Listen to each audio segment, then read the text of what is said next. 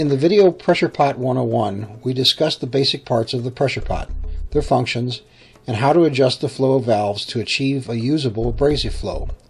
In this video, we will discuss a couple modifications that can improve the performance of your pot and explain how these modifications function.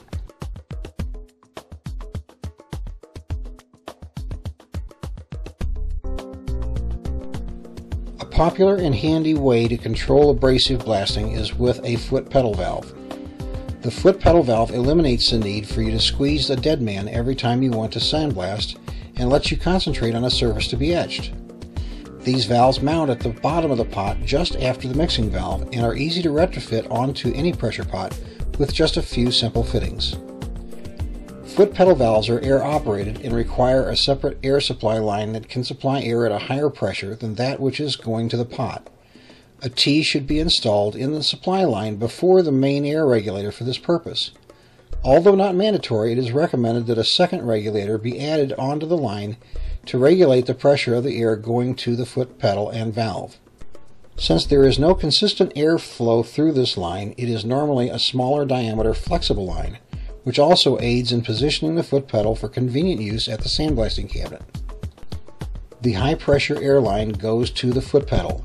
Typically, the foot pedal is a spring loaded device consisting of a normally open air valve. The diaphragm shutoff valve is installed after the mixing block that mixes the media from the pressure pot and the sandblast hose with the nozzle on the end. A separate high pressure line from the foot pedal connects to the shutoff valve. There are a number of different styles of diaphragm shutoff valves, but they all operate similarly.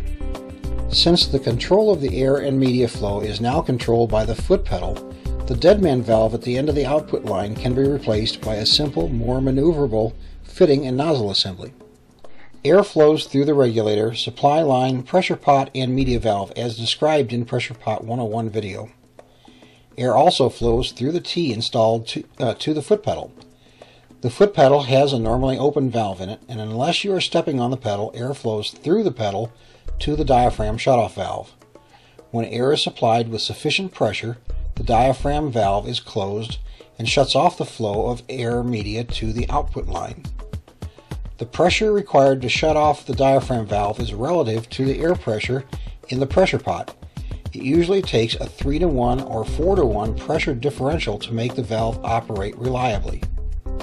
Stepping on the foot pedal shuts off the airflow out of the pedal to the diaphragm shutoff valve, and the valve opens, allowing a mixture of air and media to flow through the valve and output line to the nozzle. Anytime the operator lifts his foot or walks away from the cabinet, the pedal lifts up again, supplying high pressure air to the diaphragm shutoff valve and shuts off the flow of air and media to the output line again.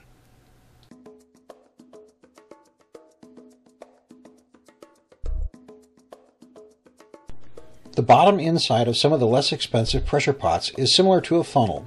If you could see inside the pot, all of the abrasive packs into the bottom of this funnel and can easily restrict or plug the flow. This is especially problematic when using very fine media or when the humidity is high and the abrasive has a lot of moisture in it. A simple fix for this is to add a ventilated standpipe to the bottom of the pot.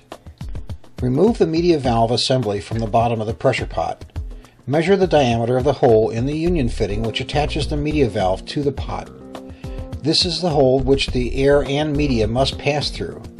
At the local hardware store, find a piece of thin walled copper or hard plastic tube that will fit into that hole without reducing the inside diameter any more than you must. As long as the inside diameter of the tube is at least twice the diameter of the hole in your nozzle, enough media will flow through. The standpipe should be 6 to 8 inches long so you don't need a lot of material. Drill a series of 3 16 or quarter inch diameter holes perpendicular to each other down the length of the tube. Be sure to clean up any burrs left behind from drilling. Attach the standpipe to the union fitting. If it is a loose fit, use epoxy to secure it in position. Be sure not to get any epoxy on the union threads or below the tube where it would restrict the airflow. Reassemble the pressure pot inserting the standpipe inside the bottom of the pressure pot. If you could see inside your pressure pot now, you would see that instead of all the media trying to flow through one hole, it now has many, and if one clogs, the grit continues to flow through the others. Your clogging problems will be reduced significantly. This is an inexpensive fix for a very common and frustrating problem.